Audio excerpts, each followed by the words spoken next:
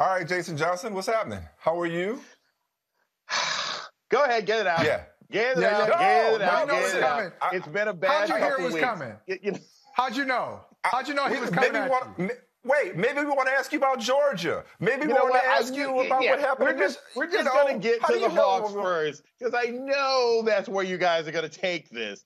I will say no. this. No, no, In no. the we weren't going to talk about your takes. Seahawks being in a three-way tie and, and about to get roasted by Kyler Murray tomorrow night. Yeah, that your all-time worst defense. We're going to talk about that. Why, would- why would we do that? We love you, man. That would be getting that up? swept, getting swept by the Cardinals too. If they lose that, that's a sweep from What, Arizona. what I'm going to say, what I'm going to say is this: I have never had faith in the secondary version. Right? You know, you got Iron Man and you got War Machine. You had Captain America. You had U.S. Agent. Russell Wilson is the original recipe. Okay, Kyler Murray is Church's chicken. I do not believe in Kyler Murray long Oh, uh-uh. term. uh-uh. I Oh, do not uh-uh. No, believe- no, I do stop not it. believe in Stop Cliff that. Kingsbury, Right- and I have right now. no issue Stop saying that. that I think That my Seahawks two can win things. tomorrow night. Two things. I will not, sir. I will not stand for Kyler Murray slander right now, nor will I Or Church's. stand for Church's chicken slander. Okay, Okay. because Church's in the right set terrible. of It's circumstances, terrible. but in the right set of circumstances, in the right order, it can come through. It can come through for you. Okay. What's this you all and whatnot. What- what's your I've never heard with. Chicken? Chicken is terrible. Chicken. Never Where was it terrible? What Never city? once. What you can try and slip it? some Church's chicken into a pile of Popeyes and some Safeway fried chicken from two days old. I'll still spit out the churches. That's how bad. that's how bad Man, you, chicken is. so- hey, but at least give it up for the biscuits, though. At least give it up for the I- biscuits. I can do, I can do the biscuits. I can I can have dirty rice from anywhere. I can have coleslaw from anywhere. But Church's actual chicken is the worst. Shout out to the Church's chicken that turned me off of Church's forever. It is in a certain city where I got my doctoral degree. I tried going to that place several times. It was always terrible. Y'all can look that up. I'm just saying. Church's is never going to be the real thing. It ain't ever going to be good, well-made Popeyes. Michael and Holley, Kyler Murray Jason ain't Johnson ever going to be uppity. Russell Wilson. Jason no matter Johnson what is happens. this year. uppity. You uppity, oh. Jason Johnson. So you had, slander. you know, just because Kyler Murray is the this- truth. Don't even Yeah, try that. just because there was a bad franchisee somewhere in, in, in what city was it? Where'd you get your doctorate? in, in, in, in, I will say it's it was in the city of Durham, and I was getting my Okay. degree in the neighboring city. I would just say it, was, it was a bad place All there. right. Yes, yes. well, just because you got a bad franchisee doesn't mean churches is bad. Let me ask you though, what's your mm. issue with Kyler Murray coming off Right. one of the greatest games that we've seen, Yeah, uh, a, a wonderful throw you just throw had. on the first hail mary of his career? He's never thrown it. a season He's, he's one for one. Yeah, th- look, that that is an Aaron Rodgers level throw, and it was amazing. And DeAndre Hopkins is amazing. Look, I actually don't think Kyler Murray is is a bad quarterback. I don't think he's not going to be a good quarterback, but he ain't Russell Wilson. That's the thing that gets me. He is not even Russell Wilson in his second year. He is not even Russell Wilson in his second year statistically. Let's let's ignore the fact that Russell had the Legion of Boom and everything else like that. Plus, Kyler Murray, I don't even know if he's that durable yet. Remember, he got a little hurt at the end of last year. I just think there's a tendency that just because you have another short brown quarterback with curly Oh, hair, stop that it. everybody wants to say that he's the same as Russell Wilson. They're gonna say the same thing about Tua. Stop Let it. me see a little it. bit more Kyler Murray. I'm just That's saying. not what this is. That's not I'm what this is. The dude's on pace to have the first 4,000, 1,000 season in history. And okay, now I got to put on my hater hat. Now I got to put on my hater hat. I didn't want to do this, but you're going to make me do this. Okay? You're talking about he ain't I- Russell Wilson. Russell Wilson ain't good right now. He got 13 turnovers. In, the, he's- in the- he's uh, 10 turnovers in the last four games. He got more turnovers through 10 games he's ever had. What's going on? Or nine games he he's ever had, had. he has had a terrible four game stretch. And you know what? I will allow a Hall of Fame quarterback in his eighth or ninth year to have a really Okay. bad stretch. But if you Okay. expect me to believe that he's going to play that way for the rest of the year, I don't buy it.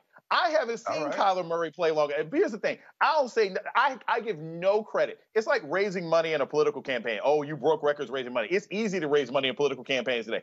I'll give nobody credit for for yardage in our current NFL, where a bad quarterback has a 67% completion rating. So you know he he can throw for 5,000 yards. He can throw for 8,000 yards. Oh it doesn't God. mean I believe Wow. Kyler Murray yet. It doesn't mean I I believe the. Cardinals yet, and I don't believe in. Cliff Kingsbury. ever. But, you, but, but Michael, you know what the problem with that? Is? You know what the problem with that take is? You know what the problem with that hot take is, Michael? Here's the problem It's, with that. it's not hot. Tomorrow, There's nothing hot about this take. tomorrow, when Kyler Murray throws for 400 and rushes for 150 against that defense, you know what they're gonna say? Oh, it's the worst defense of all time. Anybody can do that. The Seahawks defense is Ken Norton. That's what you're gonna say, right? You're gonna give them Wilson's credit tomorrow. failures. Russell Wilson's failures are different from the failures of the defense.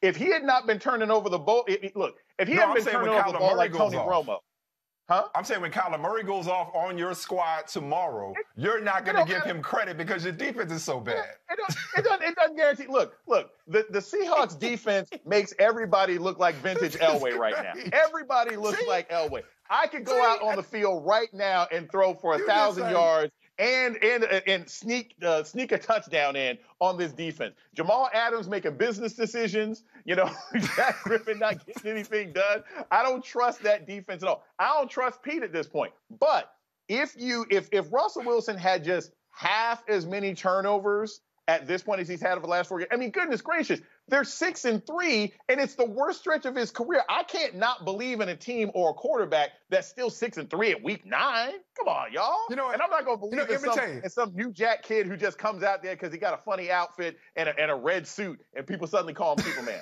I don't buy it. Hey, hey, you know, I what? don't buy it. you know what, Michael Cardinals. Smith, Michael Smith. You know what's so great about this? Uh, The fact that he was ready? Here, The fact that he no, was ready no, for no, this? no, no, no, no. I was ready. You weren't here. Uh, you weren't here a couple weeks ago, and I was doing Yeah. a show with, with Vinny, and uh, Yeah. after Jason Johnson finished his segment, the producers were saying, you know, Jason Johnson. He's amazing. Like he knows everything. He's amazing. And so, they, like people were raving. They're raving about you, and there's so many different sides of you, but we haven't seen the hater side until now. This and I'm just the hater. enjoying Hate, hate, that, hate, hate, hate. that you got I'm some a hate I'm a hate Kyler on Murray, Miracle Whip. Church's I'm a hate on Chicken. Church's Chicken. I'm a hate on Tyler Murray. And it's high level. It's high level hating. I mean, it's like almost. I know not Let to me- cross him. switch. You mentioned you mentioned politics. You mentioned political Yeah. fundraising. Let's let's turn the corner here. And Mm-hmm. there was a segment that we played on the way out. You talked about Georgia and how it's the election is not over, but because if, if you voted for Joe Biden, do you think? Look, Honestly, don't tell us what we want to hear. Tell us what we Oh, need to hear. Do you think that Ossoff and Warnock really have a shot to to So- unseat two Republicans in Georgia? I'm a, I'm a three years ago when Ossoff ran for the Georgia six position. I wrote a piece at the time, and the title was "This White Boy Gonna Lose," and it was a quote from a local consultant. His exact words: "This white boy gonna lose." That was it was it was you know an anonymous quote. I couldn't say who the person was, and I talked to that same consultant two days ago, and he said they're both gonna lose. He said the the the party the Democratic Party is not organized enough on the ground in Georgia to get black people excited enough again to push Ossoff and Warnock over the edge. Now, this is a guy who tends to know things. I disagreed with him in this one instance. I think the level of political engagement that we have right now, I think the high that people have in flipping Georgia blue might be enough to push these guys over. But here's the thing I actually think that Ossoff might be the weaker of the two links, and you got to win both, right? Like, this is not going to be a split decision. Either both the Democrats Right. win or both the Republicans win, and Ossoff is going to need to step his game up. Warnock is going to get the black turnout. Warnock is going to get the vote. Warnock has been doing good commercials, and he's a pastor, and he does well in the southern part of Georgia. Ossoff's got to step up his game. And not to say he's a bad candidate, but his organization needs to do better on the ground. That's so hard to believe, Jason, because you know, while this Senate race in Georgia, or these Senate races in Georgia, are of national importance and national Right. interest, you would think that if they could be activated anywhere, it would be in Georgia, given that they're voting for their own senators, not to mention the amount of buzz and the amount of excitement about, you just mentioned it, Georgia flipping blue under the leadership uh, and the direction of Stacey Abrams and other organizers who have enfranchised so many voters down there, that is just really troubling. I- It'd be one thing if it was like, if, it, if the nation had to conjure up the energy and the motivation to deliver Georgia. This is a Georgia Senate race. Like, how is it difficult for Georgia to get excited about voting for Ossoff and Warnock? Here's the reason And I noticed this when I came on the show today. I'm, I'm looking at your background, Michael. You're looking at your background, Ali. You all have these beautiful, like Thanksgiving, you know, August sepia colored backgrounds, right? Like, like some, mm-hmm. some, you know, beautiful backgrounds that are the seasonal backgrounds. That is what people are thinking of down there right now. They, they put hmm. all their energy, they shot their shot on the election, they flipped the state blue, and now people are relaxing. And getting people organized to vote on January 5th, when it's also going to be cold, is extremely challenging. And again, hmm. the history of runoffs is there's usually a, anywhere from a 40 to 60% drop off across wow. the board. You got COVID Ooh. going on, you got the holiday season going on. Now, look, 600,000 people have already ordered absentee ballots in the first week. That is a good sign. The New Georgia Project is out there. Stacey Abrams is out there. Uh, Asian American organizations, Latino organizations are out there. It can be done. This is how it can be done. But it's going to require a level of effort that's actually even bigger than the election. Because there are people down there, and I, I've seen interviews, and I talked to a lot of my friends and colleagues down there. There are people down there that don't know there's a runoff. They didn't know they had to vote again. Raphael Warnock talked about that in the speech. So that's what it's going to require. And this is not going to be a money election. It's not going to be an advertising election. It's going to be a turnout election. And if people care about making sure that Joe Biden can do his job, then they will vote for Ossoff and Warnock. If they want to let Mitch McConnell, if they want to let the devil went down to Georgia, if they want to let Lindsey Graham, you know, try to try to affect their elections the way he just did, yeah. the way he just got ratted out by the Secretary of State, then they won't vote. I hope that's inspiring enough for people, but I, I, I don't know if it's going to be true. Michael, I was just going to say maybe we should go down to Georgia, and if it's t- I thought we could just give money and draw draw attention to it nationally. We might have to go down to Georgia and bring people to the polls our damn selves, Michael, because all of our lives are on, on doors. with this. You might have to put together a party with some food, no churches. You might have to put together a party. Stop! Stop it! they do Chick Fil A down there. They do Chick Fil A and Popeyes. Jr. Crickets hey, hey, just one, one more quick question for you. Uh, by the way, I saw Jon Meacham giving you some love the other day. Jon Meacham, Mike, I don't know if you saw this. John, Jason, Jason's on with Jon Meacham, and Brian yeah. Williams is like doing his thing. Jason says something. Jon Meacham says, "You know, I agree with everything Jason just said." I'm like, "Oh man, that's, pretty, got, that's a hell of an endorsement." He got, he got Meacham yeah. on the payroll now. Yeah. No, look, I, let me ask you. I am exceptionally humbled I, am exceptionally humbled uh, when I'm on with Brian, when I'm on with Meacham, uh, when I'm on with my old professor Larry Sabato. Those are all examples of, of great teams that have come together with passion, uh, with with an agreement as to what the mission is, which is the opposite of what will happen if James Harden ends up joining Kyrie and KD. Just had to throw that. hey, hey, real quick, Sneak that real quick. in there. When, right uh, Jason, when, when's your yeah.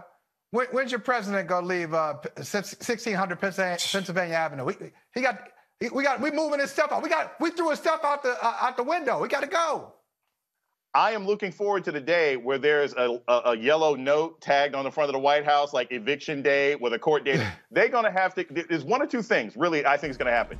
Either they're going to have to literally pull him out the day of, or he's going to go on vacation for Christmas and Mar-a-Lago and never come back. And I think there's a very good that, chance that he goes on his vacation is like, you know what? Why should I go back anyway? I already took my stuff out of the office. I think there's a, a, a very real chance that Trump just doesn't show up as he tries to figure out what his next step is, but is going to be, which quite frankly is going to be fighting off a bunch of lawsuits. Jason, damn that. They need to send the Navy SEALs up in there. Get this domestic terrorist out of there.